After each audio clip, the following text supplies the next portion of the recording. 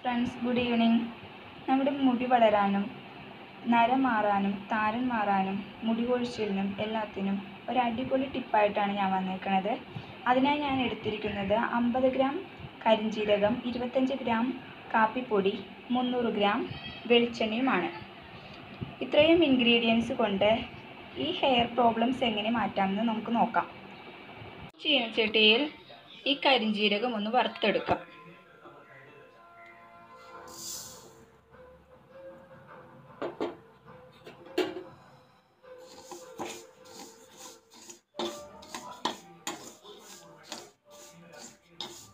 വറുത്തെടുക്കുമ്പോൾ ഇത് പൊട്ടി പുറത്തേക്ക് പോവാതിരിക്കാനായിട്ട് മീഡിയം ഫ്ലെയിമിൽ വെച്ചിട്ട് ഒന്ന് മൂടി കൊടുക്കണം.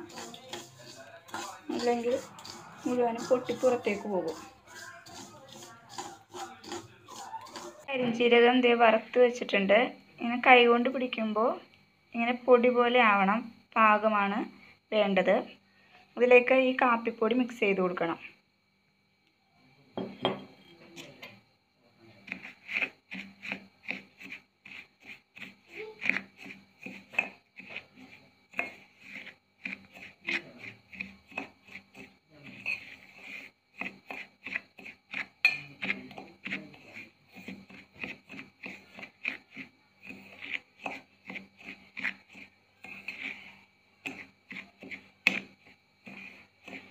ഈ കാപ്പിപ്പൊടി കൊണ്ട് ഒരുപാട് ഉപയോഗങ്ങളുണ്ട്.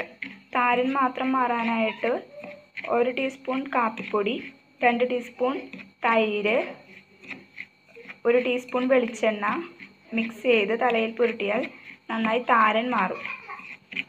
നിങ്ങൾക്ക് അതൊന്ന് ട്രൈ ചെയ്ത് നോക്കാവുന്നതാണ്. അതിനെക്കുറിച്ച് ഡീറ്റെയിൽ ആയിട്ടൊരു വീഡിയോ ഞാൻ അടുത്ത തവണ ഇടുന്നുണ്ട്. എല്ലാവരും അതും കാണണം. നമുക്ക് ഇത് ചീനച്ചട്ടിയിലിട്ട് ജസ്റ്റ് ഒന്ന് വറുത്ത് എടുക്കാം.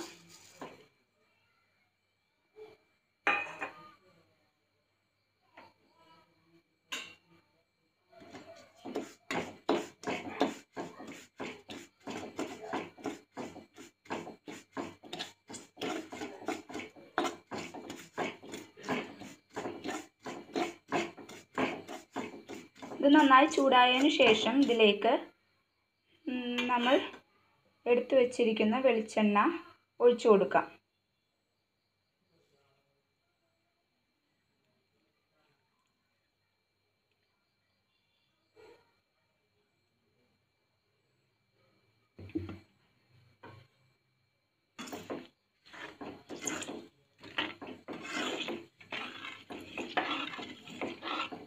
ഇതൊന്ന് തിളച്ച് വരുന്നത് വരെ ഇത് ഇളക്കി കൊടുക്കേണ്ടതാണ്.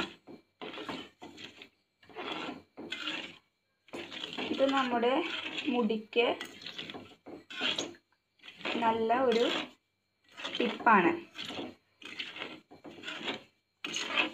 അകാല നിറയ്ക്കും താരനും മുടി കൊഴിച്ചിലിനും എല്ലാനും ഇത് ഉപയോഗിക്കാം.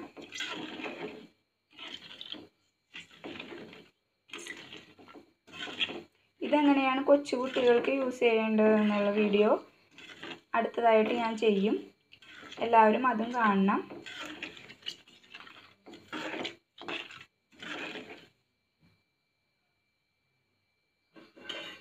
ഇനി ഇത് മീഡിയം ഫ്ലെയിമിൽ വെച്ച് തിളപ്പിക്കാം.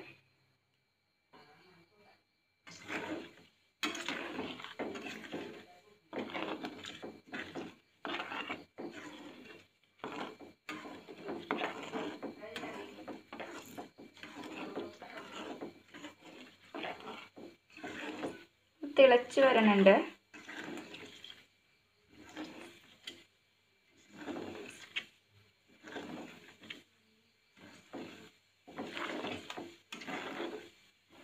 ഇത് കണ്ടിന്യൂസ് ആയിട്ട് ഒരു മൂന്ന് ദിവസം ആഴ്ചയിൽ യൂസ് ചെയ്യണം.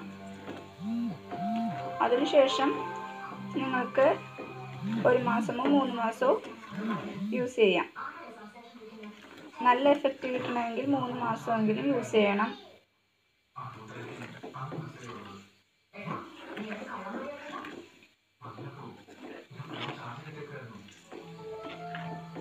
വളരാനും അകാലനര മാറാനുമുള്ള നമ്മുടെ എണ്ണ ഇത് തയ്യാറായിരിക്കുകയാണ് ഇതൊരു അഞ്ച് മിനിറ്റ് തലയിൽ പുരട്ടി നന്നായി മസാജ് ചെയ്ത് കൊടുത്താൽ മതി.